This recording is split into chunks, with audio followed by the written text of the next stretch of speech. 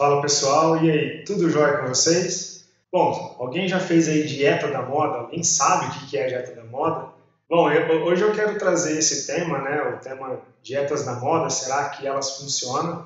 É, porque existe muito essa dúvida, né, se elas realmente funcionam ou não. Né? É, muitas vezes o paciente chega aqui é, relatando que realmente fez aquela dieta, é, acabou tendo dica ou sugestão de algum parente, irmão, tio, ou alguma coisa do tipo, ou até mesmo foi aí nesses coach da vida, né? E aí acabou prescrevendo esse tipo de alimentação.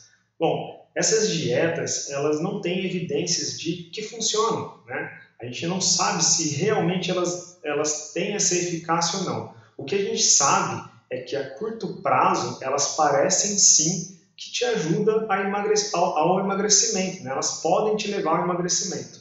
Porém, tem um grande problema nessas dietas. Esses resultados é justamente o que eu falei, a curto prazo, tá bom, pessoal? Porque a aderência desse tipo de dieta é muito mais difícil, tá? Apesar de algumas dietas, por exemplo, low carb, ou até mesmo jejum intermitente, têm seus alimentos favoritos, normalmente elas acabam causando é, alguma proibição de algo, né, alguma dificuldade nesses alimentos. Então você acaba ficando restrito a algum tipo de alimento que talvez não encaixe no seu dia a dia, né, no que você consegue fazer ao longo da sua vida.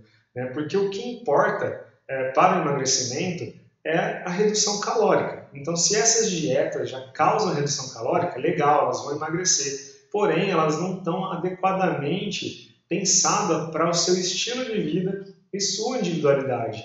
Então, se você quer ter resultado, é, é muito importante que você mantenha uma aderência alimentar, né, que você consiga manter isso durante, sei lá, a sua vida inteira, para você conseguir é, é, ter o resultado, né, chegar no objetivo que você busca.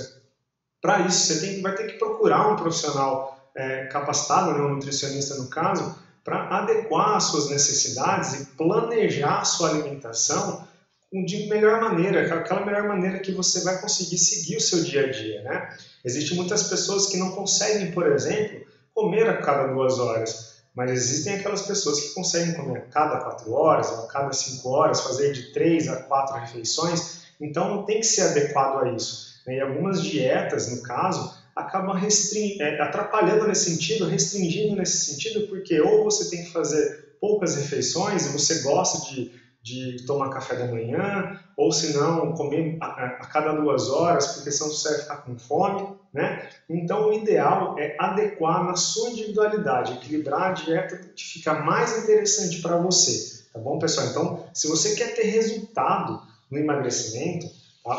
tenha uma dieta equilibrada, mantenha uma alimentação adequada, juntamente com exercício físico. E como você vai chegar nesse resultado? Procurando um nutricionista aí um profissional de educação física. São eles os profissionais que vão adequar as suas necessidades para você chegar o mais próximo possível do seu objetivo. Então, se você quer ter resultado, procure esses dois profissionais, um nutricionista tá? e um profissional de educação física.